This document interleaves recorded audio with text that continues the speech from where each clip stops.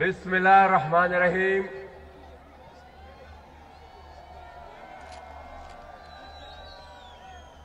Stage پر موجود پی D M کے قائدین اور یہاں پر اس پنڈال میں موجود میرے تمام جمہوریت پسند ساتھیوں، سب سے پہلے تو میں پاکستان پیپلز پارٹی کی قیادت اور ان کے قائد بلاول بھٹو زرداری صاحب کا بہت مشکور ہوں۔ کہ انہوں نے ہمیں دعوت دی اور یہاں پر شہر کراچی میں اس منی پاکستان میں آپ لوگوں کے سامنے اپنی فریاد رکھنے کا ایک موقع فراہم کیا۔ میں اپنی تقریر شروع کرنے سے پہلے،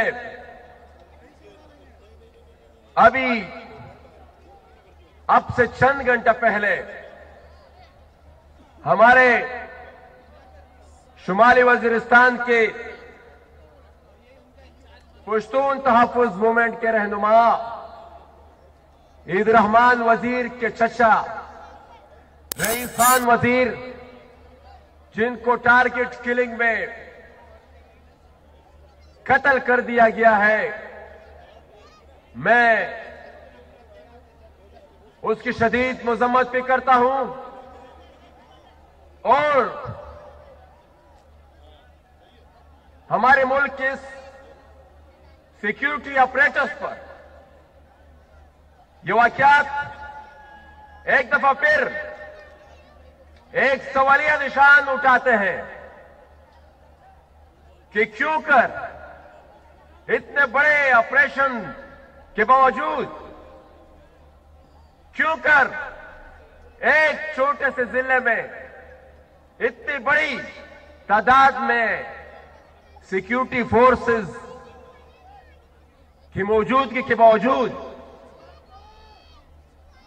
اس طرح کے واقعات ہو رہے ہیں تو میں اس ملک کے حکمرانوں کو وزیر اعظم عمران خان صاحب کو، اگر وہ وزیر اعظم ہے تو جواب دے کہ ان کی وجوہات کیا ہیں۔ میں آج کے دن شہداء کارساز کو، ان شہداء کو جن کو آج ہی کے دن ایک خودکش دھماکے میں شہید کیا گیا تھا، اس مقصد کے ساتھ، اس سوچ کے ساتھ کہ شاید شاید یہاں پر بم دھماکے کر کے، شاید یہاں پر سیاسی کارکنوں کو شہید کر کے ہم ان سیاسی قوتوں کو دبا سکے، لیکن ان قوتوں کو، ان عامروں کو جن کی یہ سوچ تھی اور جو سیاسی قوتوں، سیاسی نظریات کو دبانا چاہتے تھے، آج میں ان کو کہتا ہوں کہ وہ تو آج اس دھرتی پر قدم بھی نہیں رکھ سکتے، لیکن جن سیاسی قوتوں کو وہ خاموش کرنے نکلے تھے اور جن کو خاموش کرنے کے لیے یہ بم دھماکے اور اس طرح کے ہتھ گنڈے استعمال کیے تھے وہ آج بھی اپنی نظریات پر قائم ہے اور آپ کے سامنے موجود ہے۔ میرے ساتھیوں، سولہ جنوری کو، سولہ تاریخ کو گجراوالا میں ایک جلسہ ہوا تھا۔ اس جلسے میں پاکستان کی تین دفعہ منتخب وزیر اعظم، میاں نواز شریف صاحب نے کچھ خدشات کا اظہار کیا تھا۔ میاں صاحب نے پاکستان کے موجودہ آرمی چیف پر کچھ الزامات لگائے تھے۔ اور وہ الزامات کچھ معمولی الزامات نہیں تھے۔ اور وہ الزامات کسی عام آدمی کی طرف سے بھی نہیں تھے۔ وہ پاکستان کی تین دفعہ منتخب شدہ وزیر اعظم کی طرف سے تھے۔ ہونا تو یہ چاہیے تھا۔ ہونا تو یہ چاہیے تھا کہ اس الزامات کے جواب میں پاکستان کے موجودہ وزیر اعظم، اگر وہ وزیر اعظم ہے، اس الزامات کے جواب میں وہ ان کا خیر مقدم کرتے اور تحقیقات کا اعلان کرتے۔ اور تحقیقات الزامات کے بعد تحقیقات کے لیے ان کا جو فارمولہ جب تک وہ وزیر اعظم نہیں بنے تھے، ان کا فارمولہ یہ ہوتا تھا اور وہ ہمیں ہر روز یہ بھاشن دیا کرتے تھے۔ کہ پوری دنیا میں یہ قانون ہے، پوری دنیا میں یہ اصول ہے کہ جب الزامات لگتے ہیں تو وہ عہدیدار یا حکومتی جو بھی عہدہ ان کے ساتھ ہے وہ مستفی ہو جاتے ہیں۔ لیکن یہ قانون پھر آپ نے بدل دیا ہے۔ بجائے کہ آپ ان سے استعفے کا مطالبہ کرتے وہ الزامات جو لگے تھے، موجودہ آرمی چیف پر، آپ ان الزامات کی تحقیقات کرتے، آپ نے الٹا رد عمل میں اٹیک کرنا شروع کر دیا، جوابی وار شروع کر دیا آپ نے، اور جوابی وار میں بھی آپ نے کچھ مزید جرنیل کو انوالو کر دیا۔ اس کا جواب آپ نے نہیں دیا۔ اس کی وضاحت آپ نے نہیں کی کہ جو الزامات لگے اس میں کتنی صداقت ہے آپ نے صرف یہ کہہ دیا تھا کہ فلان سل میں ایک اور جرنیل نے بھی اس طرح کیا تھا۔ تو جناب عمران خان صاحب، ہم آج پھر آپ سے مطالبہ کرتے ہیں کہ اگر آپ کے الزامات میں حقیقت ہے یا میاں صاحب نے جو الزامات آپ پر لگائے تھے ان دو افراد پر لگائے تو ان میں حقیقت ہے۔ ان سب کہ دودھ کا دودھ پانی کا پانی ہو جائے۔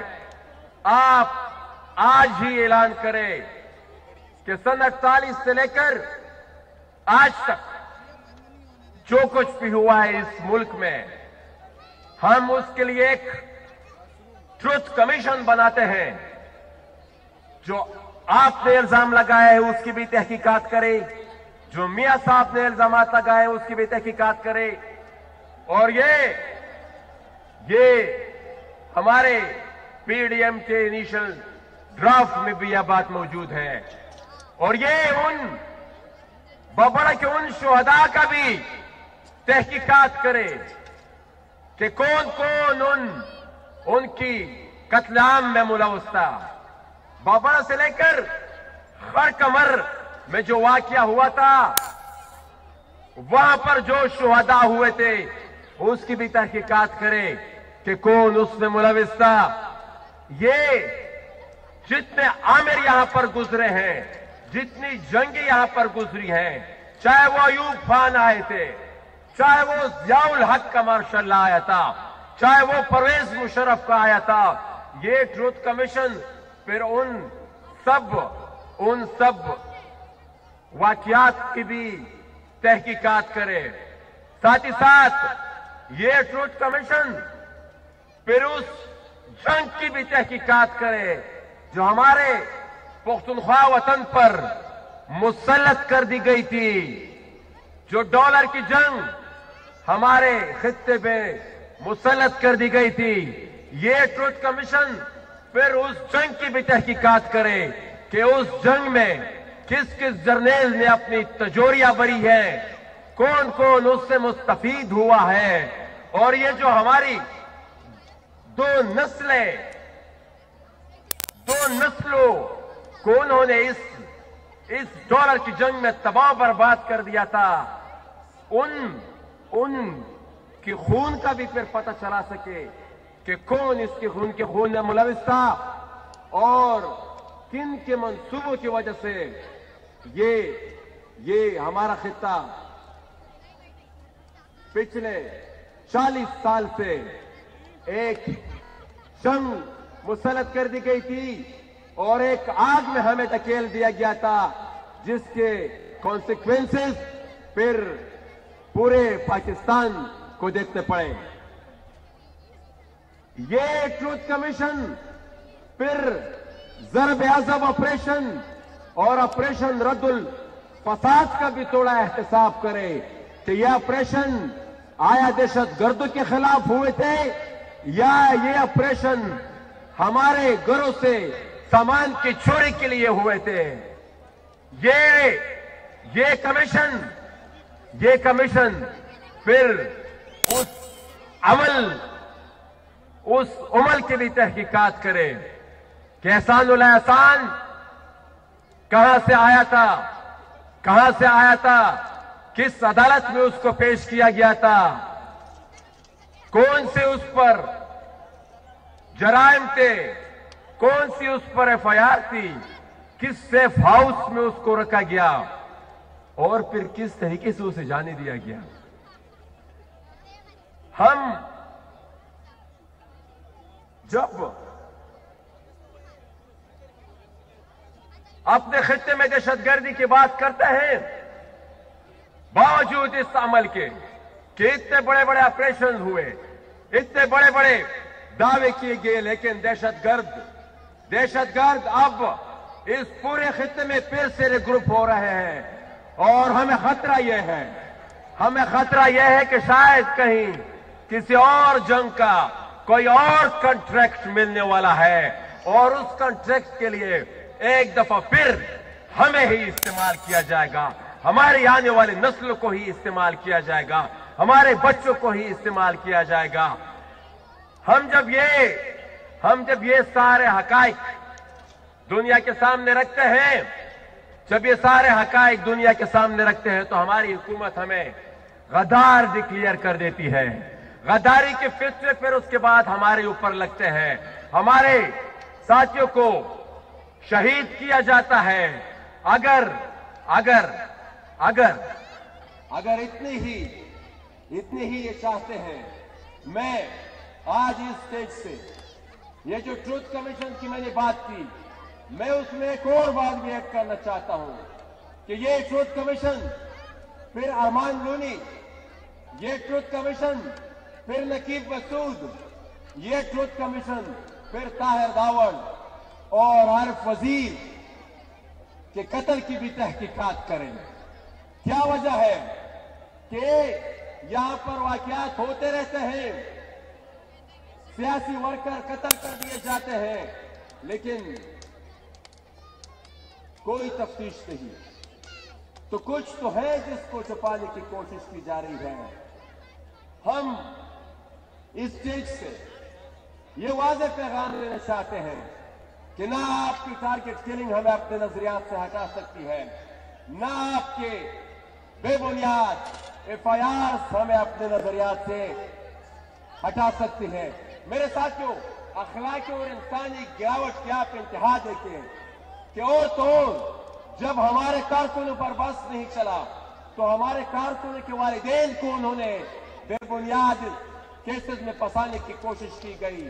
ہماری ایک ہماری ایک رہنما گلالی اسماعیل کے والدین پر بے بنیاد دہشت گردی کے کیسز بنائے گئے ہیں۔ اور یہ وہی گلالی اسماعیل تھی جن کو اسی ریاست پاکستان میں چند سال پہلے ایوارڈ سے نوازا تھا اور جس کی اپریسیشن میں آج کے موجودہ پاکستان کے صدر عارف علوی کی ٹویٹس بھی موجود ہیں، لیکن وہ ٹویٹس اب اتنی ہائی لائٹ ہو گئی ہے کہ وہاں سے یہ لوگ یو ٹرن بھی نہیں لے سکتے اور ڈیلیٹ بھی نہیں کر سکتے۔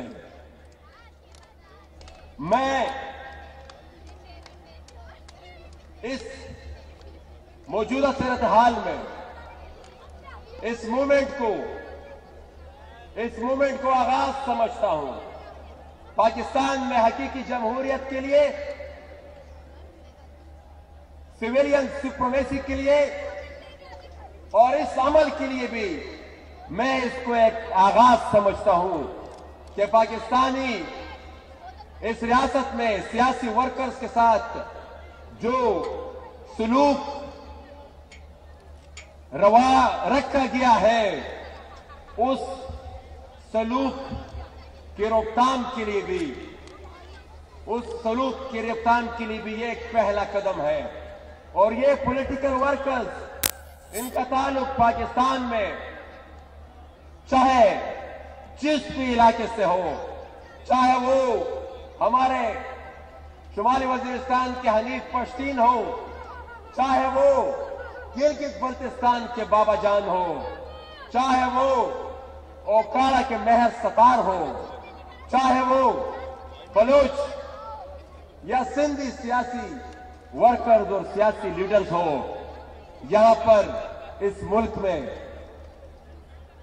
موجودہ حکومت نے ان پر سیاسی نظریات کے بنیاد پر جو بے بنیاد کیسز بنائے ہیں، میرے خیال میں یہ اس کی مثال ہمیں آمریت اور بدترین آمریت میں بھی نہیں ملتی۔ اور یہ اس موجودہ حکومت کو میں امریت سے بدتر اس لیے سمجھتا ہوں کہ انہوں نے تو ایک پنچنگ بیگ کے لیے ایک مصنوعی وزیر اعظم کو بھی آگے بٹھایا ہوا ہے۔ حقیقت میں وہ فیصلے کرنے والی قوتیں وہ پاکستان کی فوج اور اس کی ایجنسیاں ہیں۔ میں آخر میں ایک بات انفورس ڈس اپیرنس کی بھی ضرور کرنا چاہتا ہوں۔ اس ملک میں ایک قانون ہے، ایک قاعدہ ہے، ایک آئین ہے۔ لیکن اس انفورس ڈس اپیرنس کی صورت میں اس قانون کو ہر دن توڑا جا رہا ہے۔ اس اس قانون کو ہر دن توڑا جا رہا ہے۔ اور آٹھ آٹھ، دس دس سال تک یہ ہمارے بے گناہ لوگ پاکستان کی پاکستان آرمی کے انٹرمنٹ سینٹرز میں وہ بغیر کوئی جرم بتائے، بغیر کوئی گناہ بتائے، بغیر کوئی چارج شیٹ دیے، وہ آٹھ آٹھ دس دس سال سے غیر قانونی طور پر ان انٹرمنٹ سینٹرز میں پڑے ہوئے ہیں۔ میں عمران خان صاحب سے یہ بھی گزارش کرنا چاہتا ہوں کہ وہ ٹروتھ کمیشن جس کے بنانے میں آپ کو ہمت تو نہیں ہے، لیکن یہ P D M, P D M اور یہاں پر جتنے بھی سیاسی قائدین ہیں، یہ اسٹیج سے میرے خیال میں آج وعدہ کریں گے کہ یہ یہ جب ان کو اقتدار ملے گا تو یہ وہ ٹروتھ کمیشن انشاءاللہ ضرور بنائیں گے۔ اور وہ ٹروتھ کمیشن پھر وہ کوئٹہ کے سڑکوں پر اپنی فریاد کرنے والی، اپنی چیخ و پکار کرنے والی حسیبہ کمرانی کے دو بھائیوں،